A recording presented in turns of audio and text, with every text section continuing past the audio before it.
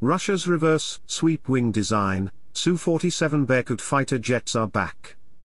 Russia's 47 Berkut fighter jet, notable for its distinctive reverse sweep wing design, is frequently referred to as the precursor of Russia's fifth-generation Su-57, Felon, stealth fighter jet. But, Rostec, a state-owned defense conglomerate, has now disclosed that this fighter jet is helping the nation build unmanned aerial vehicles without giving any specific details. The Berkut flew for the first time 25 years ago, in September 1997, when Sukhoi design bureau test pilot Igor Votintsev took to the skies in this aircraft. The Su-47 Berkut was first unveiled to the general public during the MAKS 1999 air show, where it performed a test flight.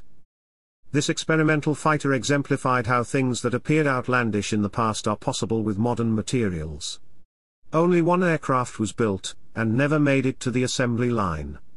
However, it provides a trove of critical data for Russian aviation engineers. The colossal knowledge of the reverse sweep wing built of composite materials acquired during the Berkut tests is employed in developing unmanned aerial vehicles, according to a TASS report that details the development of the Su-47 fighter. The swept-back wings reduce inductive drag, improving takeoff and landing characteristics, maneuverability, and subsonic flying range.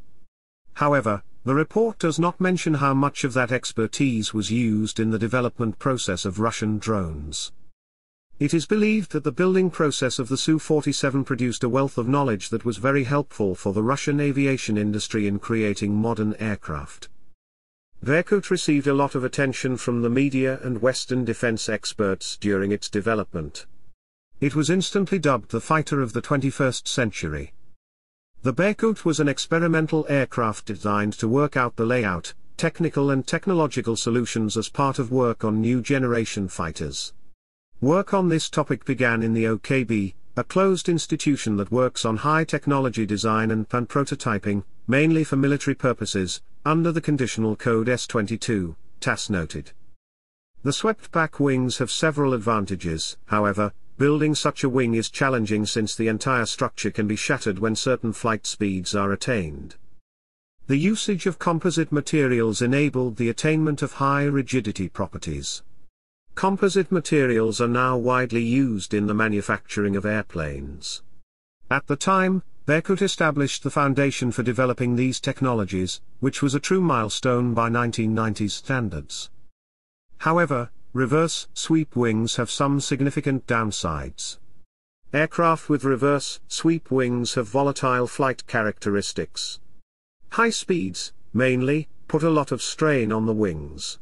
Due to the Su-47's 18-ton additional weight from the weaponry, its G-load capacity was also constrained. And the cost of upkeep for this would have been astronomical. In addition, although it was incredibly adept at rapid turns, it had trouble keeping its momentum in lengthy turns.